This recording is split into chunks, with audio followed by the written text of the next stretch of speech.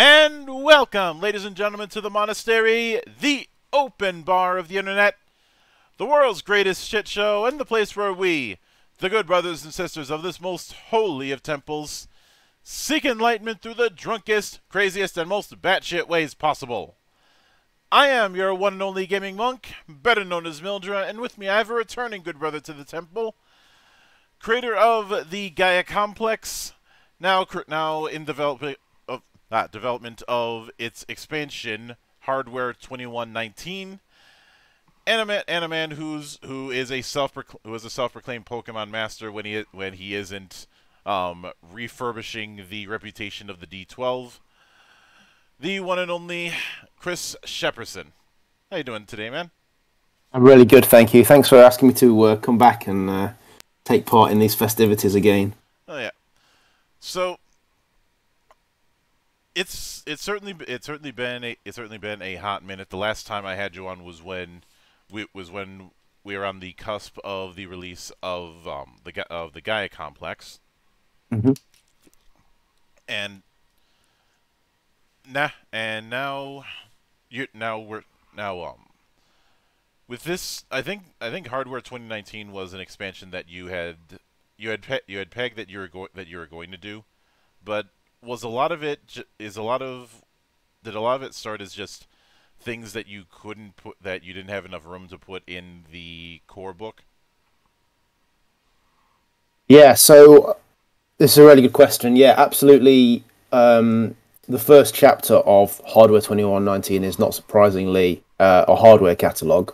Mm-hmm. And um, at the moment, that stretches to around 50 pages, 54 pages um, of laid out content, and I reckon probably twenty to thirty pages of that I had written with a view to put it in the core book, um, but simply realised how large the core book was getting, and you know, with spiraling costs, um, it was becoming something I had to I had to strip it back, and we we put the 288 page limit on the core book to make sure that we could do it swiftly and within budget. So um, yeah, I guess we got a little kickstart of our own into this into this book, having sort of almost thirty pages of content written before we we put our brains together and, and started actually working on it. Mm-hmm. Um, everything else that's in here is stuff that I had absolutely wanted to do, but I didn't really have plans to put it into the core book. It was just if we get to make a source book, this stuff goes in the first source book. That was always the kind of vibe behind it and cyberpunk games are no are no stranger to what I've to what I've called toy box expansions. Mm-hmm. Um, with and if, whether that be whether that be the whether that be the augmented book in um oh no it was Arsenal not augmented what am I saying in um, Shadowrun with which the fourth edition cover had the most ugliest the ugliest cover art that I've seen that I had seen. um, or the or the myriad of books that that have handled just equipment in um in other in other stuff like cyberpunk.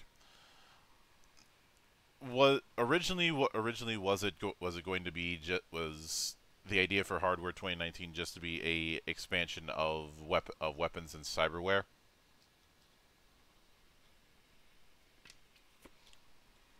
I have I've lost you. You started to fade out and go all robot like.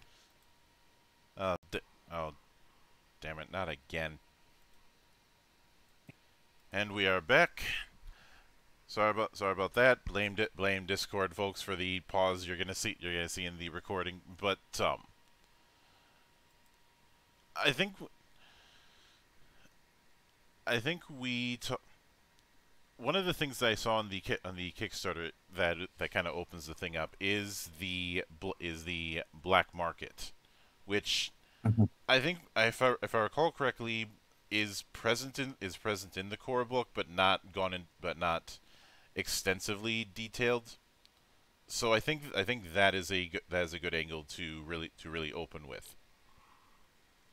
Yeah, sure. We we the main um sort of insight to the black market in the core book is actually through some of the playable character types. Mm-hmm. mainly the tech trader and the data dealer. So they are two archetypes which effectively start the game with stolen goods or stolen knowledge, and you effectively are a, a dealer of your item of choice. And there's a little insight in how we describe those characters um, uh, into how the kind of black market works. But we we we kind of plant the seed and allow the GM to kind of imagine maybe what what those transactions. Um, Hardware 2119's given us the chance to really delve into that. Um, and we have a, we effectively have a substantial chapter dedicated to it mm. that breaks down um, each of the various um, forms of illegal commerce and gives you a good dive into kind of what the state of play is with them, what kind of values are attached to things, how illegal it is in the eyes of the law, and also for each of those um, sort of types of uh, of black market commerce, we also give you a few. Uh, well, was what we've called the most wanted list. So we give you a couple of kind of key people that operate in those circles, um, and a little bit of an insight into um, their character, their personality, and what kind of stuff they get involved in. Again, information to inspire GMs to roll these kind of notorious characters into into their games. Mm-hmm. And I'm get I'm guessing when it comes to those most wanted, you do you do you um do you have a few sto- do you have a few story seeds with the, with them as far as how a GM might be able to integrate them into a campaign? Yeah, absolutely. They've um they so the the book has uh, a number of data seeds in it, which is a kind of concept that we we coined in the quick start and the and the core book. So they're our sort of one page uh, adventure overviews, and um, e- each of the write ups for people on the most wanted list have a- enough flavor to get an idea of what they're involved in and how you might roll those characters uh, into them. But also, a couple of those people uh, exist within the the fiction of the Gaia complex, both from the core book and from uh, the continued fiction in Hardware 2119, mm-hmm. and a couple of the uh, data seeds that are included in the book also tie back to content in that black market chapter, be it uh, events or uh, some of those characters, um, giving you the opportunity to kind of throw the the player characters into um, in you know directly into the world of that black market that we've talked about. Mm-hmm. Now, I'm get, I'm guessing, I'm guessing within the within the within the equipment setup, there's you you'll have a, you'll have a spot about the the legality of of certain of certain weapons and what might be what might be pushing it. Yeah, absolutely. Um, and some of that is touched on in the core book. Mm-hmm. Uh, we kind of make a, I guess, a few blanket statements that explain that while most firearms are uh, legal, um, uh, anything that's classed as a heavy weapon and anything which has explosive properties are strictly forbidden, as well as any uh, weapons that are built and marketed specifically as anti-vampire uh, weaponry. So anything along those lines are illegal and obviously fetch a higher price on the black market. Um, but that's pretty much as far as the content, the information about that side of things went in the core book. Um, in Hardware 2119, we go a little bit deeper into explaining why those things are outlawed and the implications of being caught in possession of them, how hard they are to find, um, and, and a few little few different little bits and pieces, which um, gives both players and and GMs a kind of reason to obtain those items or avoid them like the plague, depending on your sort of stance on the outcome. Yeah, I do want to I do want to touch on the idea of of anti vampire weapons, because mm-hmm. um, I think a lot. I think a lot of people when they hear that kind of concept, they're thinking of the class. They're thinking of the classics. You know, mm-hmm. um, holy holy water, running water, stakes, crosses, garlic, silver. Yep. Um, EDTA if you're if you're a fan of the Blade movies. Mm-hmm. Which inc- incidentally, I'm surprised. I'm surprised. No, I'm surprised people don't use that more often. Um, but yeah, yeah. In but obviously, since vampire, the way vampires are utilized in the Gaia complex is not in the is not in the traditional sense. Um, I'm curious what anti-vampire weaponry would entail. Okay. Oh, well, um, there's only ever been two weapons that have been highly commercially available.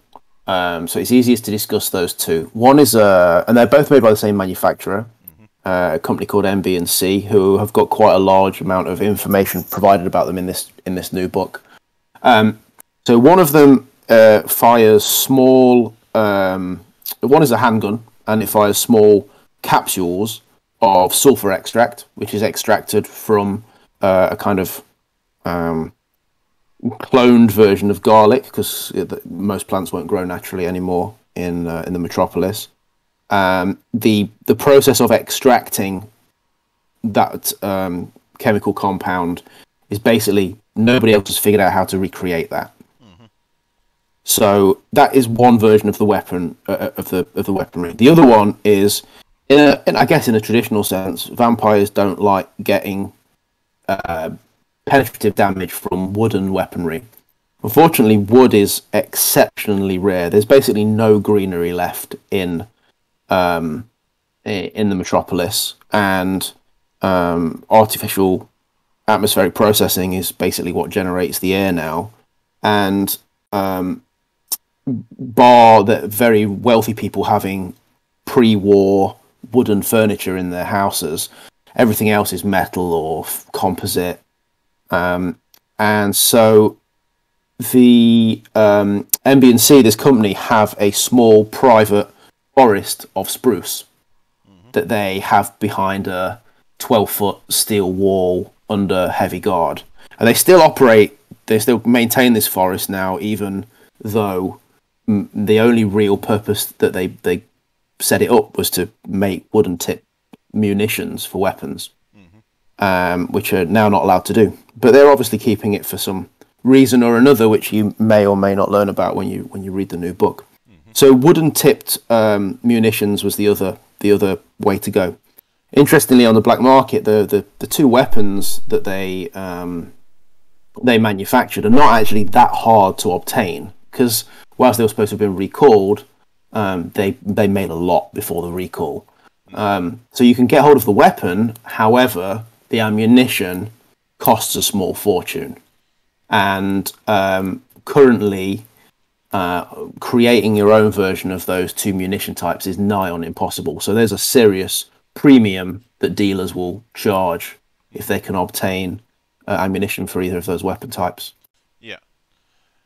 And now one of the one of the other things that's one of the other things that's mentioned on the Kickstarter that I that I wanted to touch on further is the introduction of what you call ghost tech suits.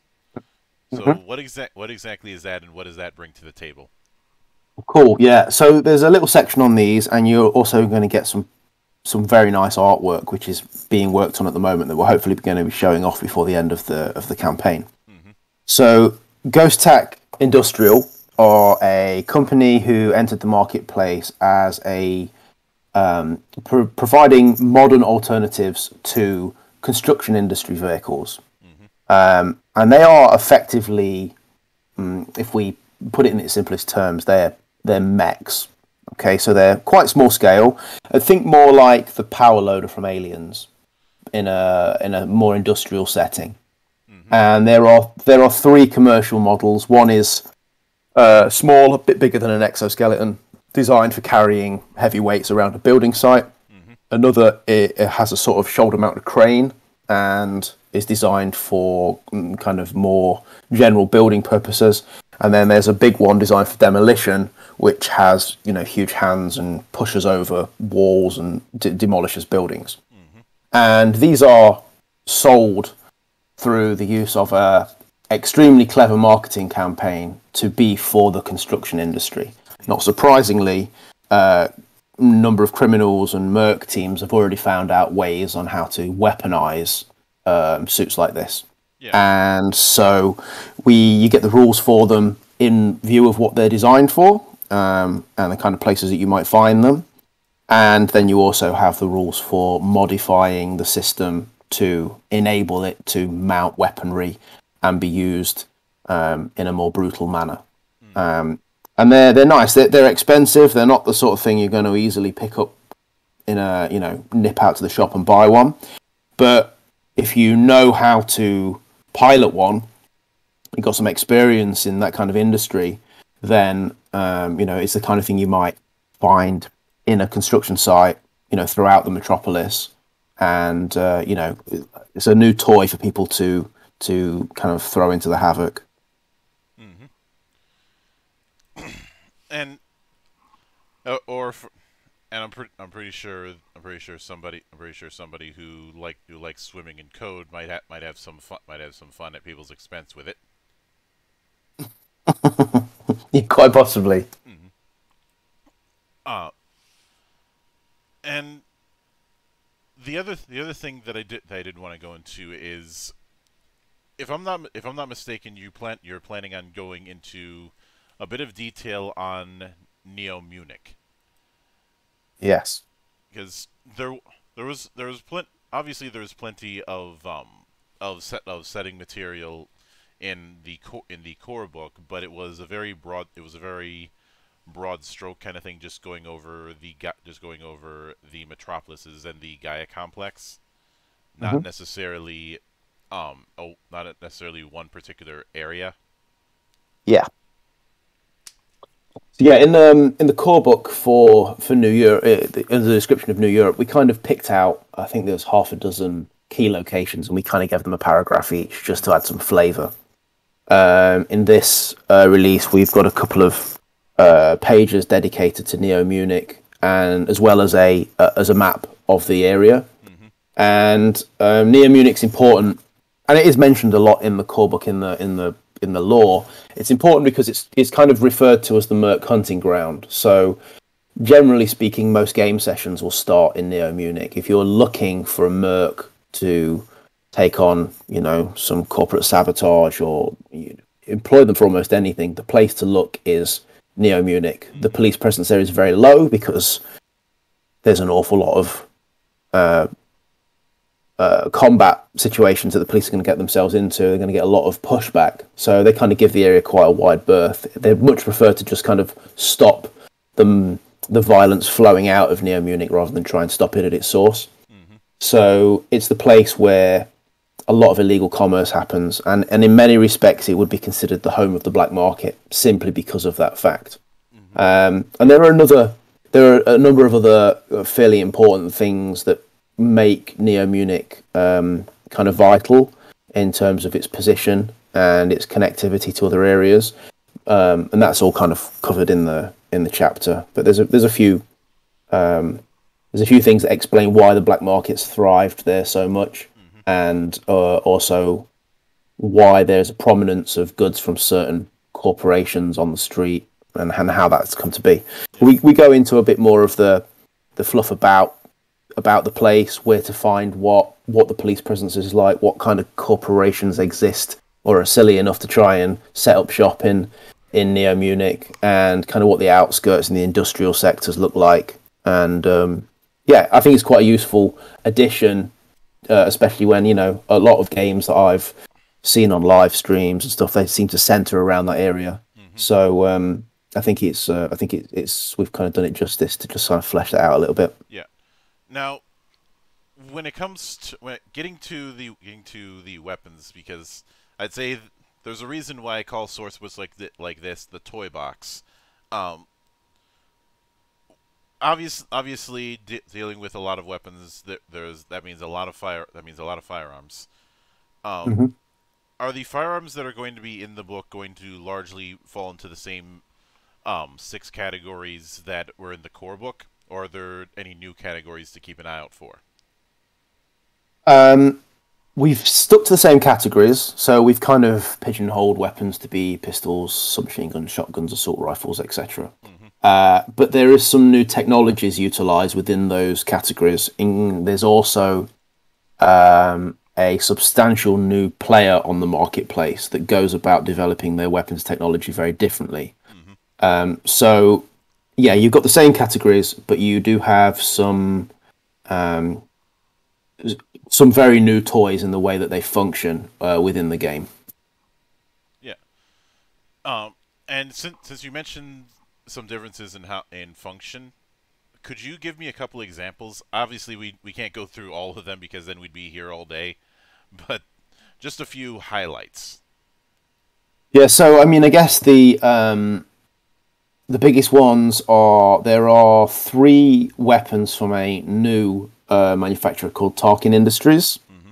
and they are, eh, to put it in a more in a bluntish sense, they basically take if if you consider Dire Arms to be the big weapons manufacturer of the setting, mm-hmm. they kind of take all of their ideas and then reverse engineer them and then decide what else they can stick on top. And in the case of the Tarkin weaponry, they come with like onboard analytic systems. They work out how you use the weapon to suggest more opportune reload points, um, to suggest how you adjust your grip and um, muscle memory when using the weapon. And they also collect user data.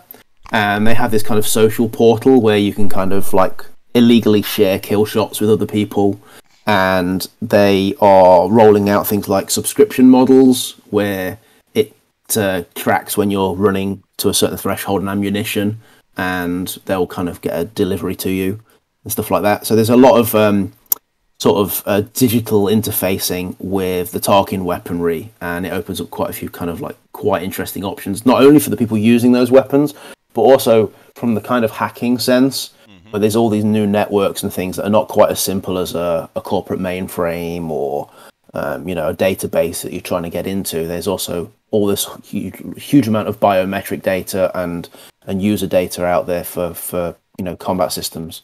But that's probably the really big new way of working in the book. Um, and it's quite exciting. Like we've had a lot of fun with with messing around with that stuff. Mm-hmm. And within the, within that, I'm I'm curious if there is if there's any new keywords to keep in to keep in mind when it comes to uh, weaponry. Uh, yeah, no, we there isn't. Um, I, we did play around with um, kind of expanding the fire modes, uh, particularly on the Tarkin weapons, beyond um, the kind of burst and sort of full auto, but burst and suppressive options. But um, uh, something that we actually played around with. But I ended up just sitting back a little bit from the from the project after I'd kind of written most of the book and realizing that at its at its heart, the Gaia Complex's rule system is really quite streamlined, mm-hmm. and I decided that more rules was not really the way to um, to make these different. The best way to make this different was through the way that we describe them. Uh, the, the whole ethos of the game is to plant seeds with people and let them generate the rest of the world around it. So we decided to keep the rules relatively light um, and not kind of bog down things that would uh, be considered core rules. We want everybody to be able to play the game without needing to learn an entire new set of rules beyond the core book. So yeah, we've we've kind of kept things to burst suppressive, single shot, and um, the kind of keywords and um, and optional rules that you saw in the core book. Mm-hmm. And in that same vein, uh, when it comes to obvi- obviously with with ranged weapons, that's get that's getting a fair bit of expansion. Um, are mm-hmm. melee weapons getting getting a getting expanded as well? to a degree.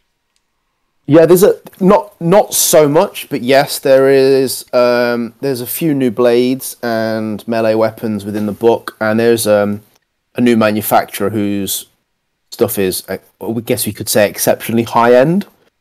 Um, and there's a little bit of a focus on them. Um, there's an image of one of their um, blades on the Kickstarter campaign, like a very pretty color and so basically they are they use a um, a new a, a, proprietary material which is called edge glass, and they're semi-transparent blade technology, and effectively, if if I was to sum it up without kind of getting into the gritty, they basically uh, are more likely to cause um, intense bleeding, and they are more likely to damage armor when they make a strike. So they're exceptionally sharp and exceptionally expensive. Uh, blades from a, a new a new manufacturer.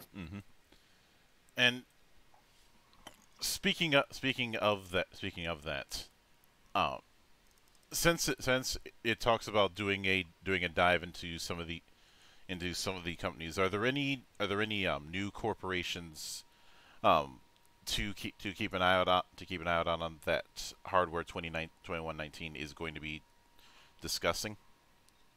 Yeah, there is that we we've we followed uh, so the corporations discussed in it follow one or two formats. One follows much like the corpse in the core book, so we kind of have a, a half a page summary of what those corporations are like, what they're up to, what they do, and then there's also a a very a much more in-depth deep dive into four key corporations, specifically corporations that are involved in in the weapons trade, uh, where we go um, into um, what they do, what their public image is like, what their shady secrets are, what R and D they're working on, and who the key figures are within the company. A bit like the most wanted list in the black market chapter, we kind of give a big insight insight the people that are either running this company or working on R and D. Um, but a couple of these, um, a couple of these companies that we discuss in this book are uh, wrapped up within the overarching story of the Gaia complex. And we've already mentioned Tarkin Industries and their digital interfacing weapons. They are one of the companies that gets a uh, a big insight. But there's also another company that's worth um, keeping an eye on. And while we specifically and deliberately don't go into extreme detail about them, there's a commercial software developer called Harrowtech, who, if you've scoured the core book and read the whole thing, you will find them mentioned in there as an Easter egg, mm-hmm. and they're circled back to in this book. And there are a few little nods in the black market chapter to some rumors circulating around that company's involvement in um, uh, in the development of biohacking software. So um, yeah, we we we are continuing the process of planting seeds to grow in the following release, if that makes sense.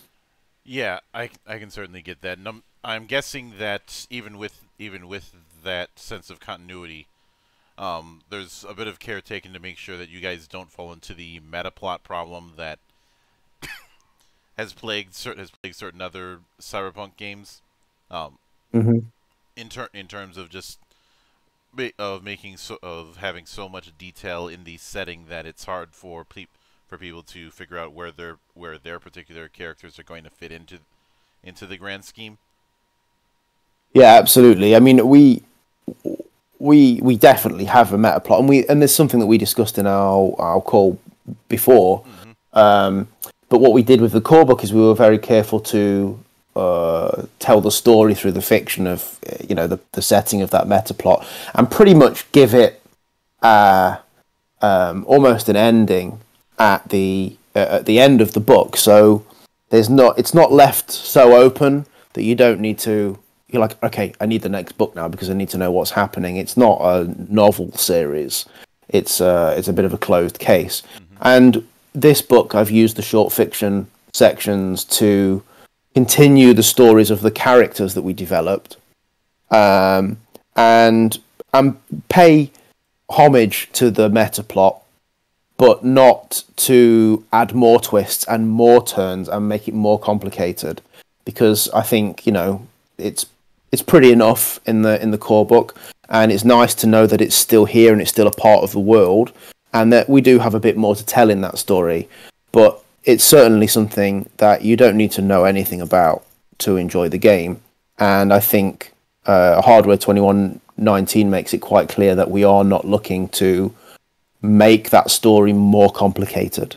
You know, it, it kind of begins and ends with the core book, and if we can just give you a little bit of additional excitement on top of that, that's the plan.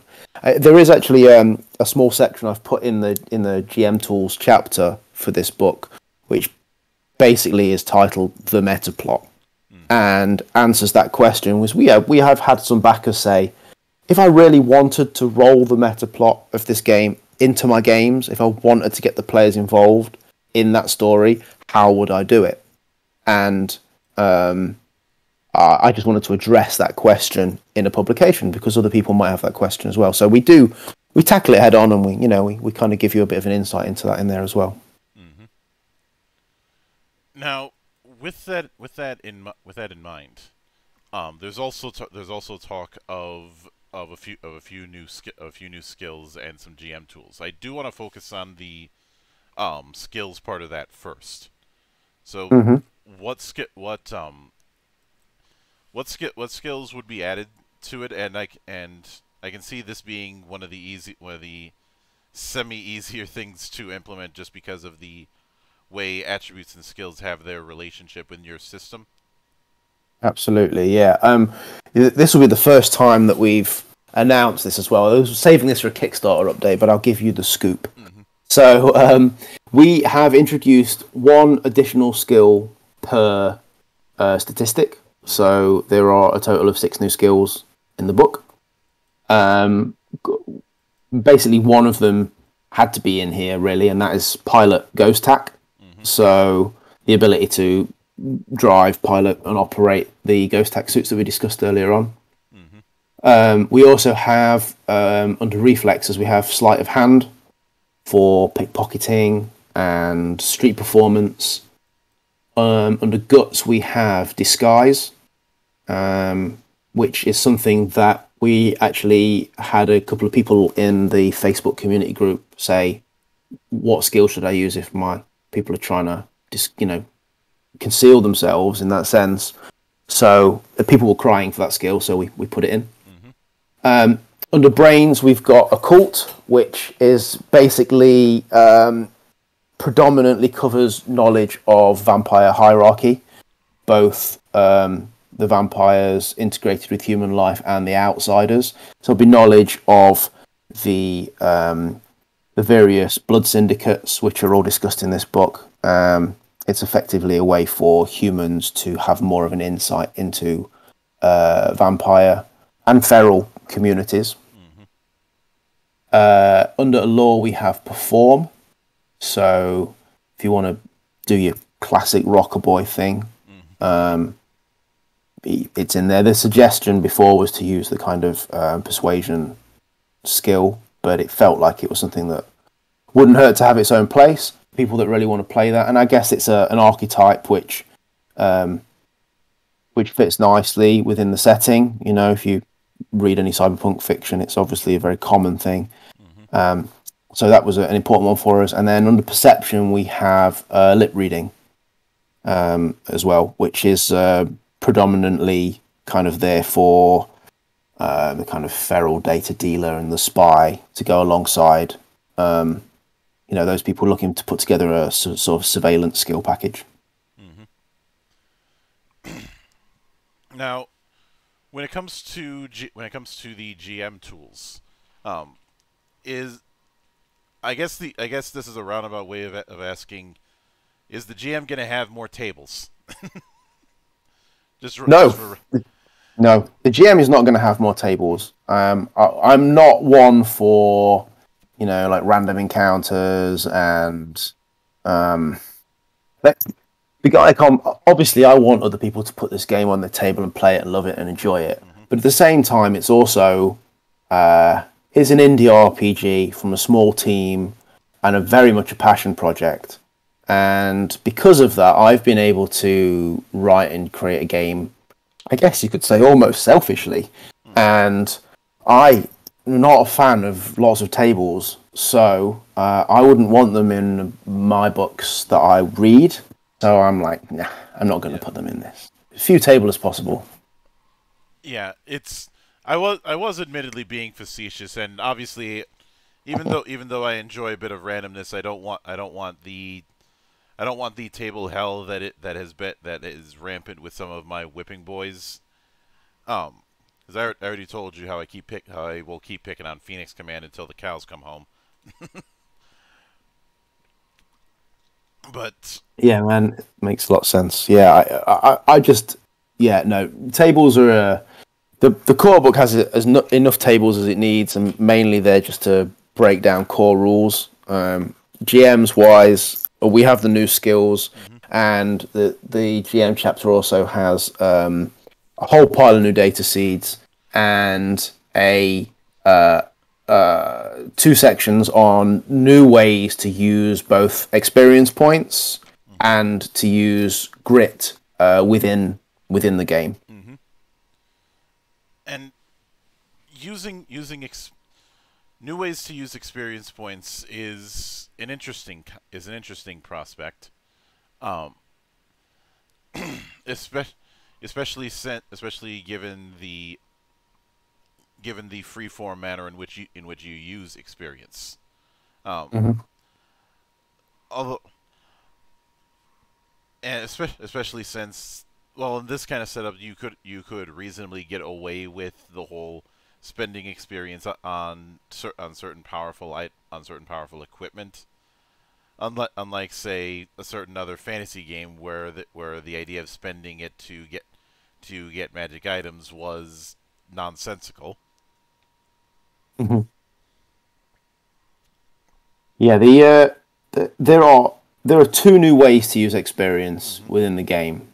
Um, one of them is um, the fir- the first way is that if you can dedicate one character in a group can dedicate themselves as a teacher, and another person in the group can be dedicated as a student, and effectively uh, the teacher is able to you, during the downtime periods between games over a multi-game session over a campaign is able to use their experience to increase the experience gain of other characters providing uh, the time and the lessons go well so it's a way to um, selflessly transfer experience with a possible chance to gain a little more um, but only if you are prepared to dedicate the required resources to do so. Uh, and the other way is that you can use experience after a session to secure a long term contact of an NPC or valuable person that you dealt with during the previous game session, providing that the interaction with them was was positive. So experience can be spent to uh, represent the time spent on investing in that rapport and relationship, and the uh, the player and the GM will then work out what that NPC can bring to the team, whether they can be a hired gun for them, whether they'll provide them information. Um, so it it provides you the process by which to use experience for that, and then provides um, guidance on how to work it out as best suits your group as to the actual outcome of it. Now, within within within that, you you're you mentioned data seeds, and as I as I understand it, with each with the data seeds that you have planned with this one, there's going they're going to be done by guest writers. Um, Yeah. and was it even with even with that? I'm get I'm guessing that a lot of the coordination for making sure for making sure that the that the data seeds are still internally consistent um fall, falls falls back to you obviously. But when when um when you were bringing people in to do these data seeds, did you provide them with a kind of setting bible? I guess. Yeah, absolutely. I mean, um, everybody that's writing a um, data seed for us has uh, been armed with the core book content, as well as the three digital data seed releases that we've put out over the last 12 months on DriveThruRPG. And um, they also got, uh, like you suggested, a small setting Bible, content Bible. And um, the basic instruction was um, give me a pitch for your story. That's mainly just so I can make sure it's not too similar to an existing data seed, and then just go wild with it. You stick within the confines. Uh, I, I, I kind of remain, I guess you could say, like line editor on the uh, on the book at the end.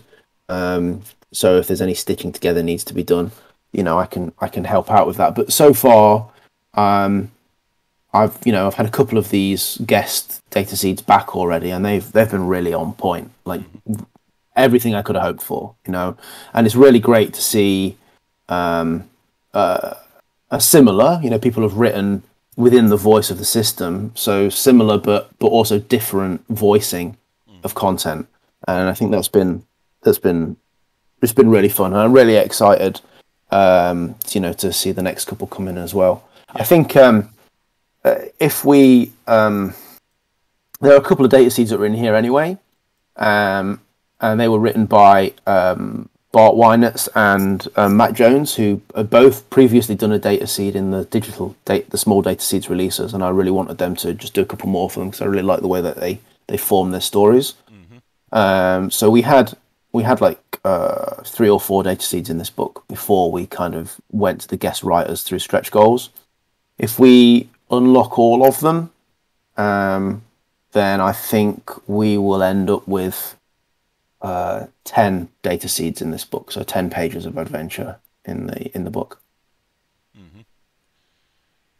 And with that in mind, what are you shooting for as far as a total page count? I know that I know that stretch goals might at might mess around with the page count. So do you have a ballpark number for me?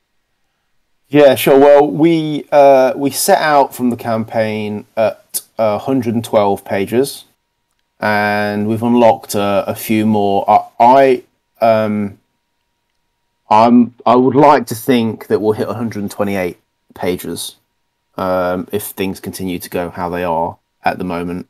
Um, then I think 128 pages for the source book is probably what we're looking at. And what are you shooting for as far as a release window?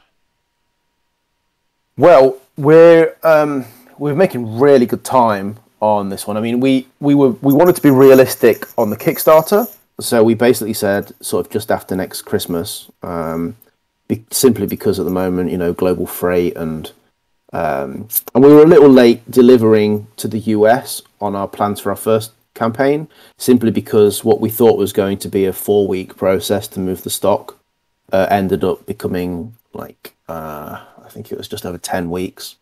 Um, just sea freight just stopped, and then things sat in port at Detroit. I think maybe they sat in port in the US for like four weeks, waiting for a truck to pick them up, and it was all a bit.